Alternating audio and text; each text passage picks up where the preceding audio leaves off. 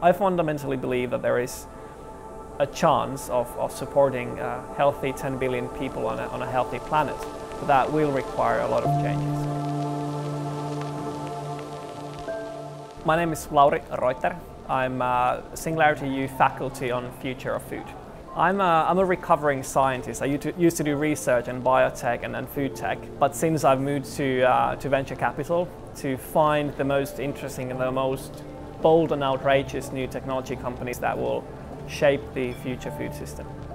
Uh, the biggest challenges for the uh, food system in the future are, first of all, our own health, which is in horrible shape, but also the environment and the uh, sufficiency of resources that we have on this planet. Some of the most interesting things happening right now is, is replacing the animal-based products in, in the food system and, and we have completely new capabilities of doing that from growing meat from cells or replacing replacing animal-based things with plant-based things. That's quite obvious and that's happening already now.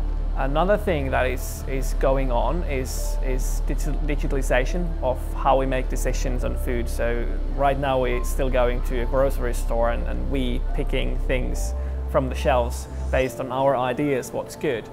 But soon enough we can start using massive amounts of data in a smart way and, and help in that decision making. And that will fundamentally change in how we, how we interact with the food system as consumers. I hope that all these number of changes happening at the same time will in the end enable us to live healthily first of all on, on a green planet where there's still a lot of uh, diverse life around us and climate that is suitable for living. After all, in the long run, the only sustainable business around food is something that is sustainable for the environment and for our health. And that's important to realize right now. The technologies to enable these kind of changes are increasingly there. I think the biggest obstacle is, is, is us, humans, how bold we can think. What excites me the most is, is to see that look in people's eyes when they realize something completely new about their everyday life and the possible futures. So I think it's very important that Singularity U uh, Portugal is bringing all these people together and all these ideas together and also um, kind of shake up that thinking and help us to imagine the possible futures and the possible use of all these technologies that we have at hand.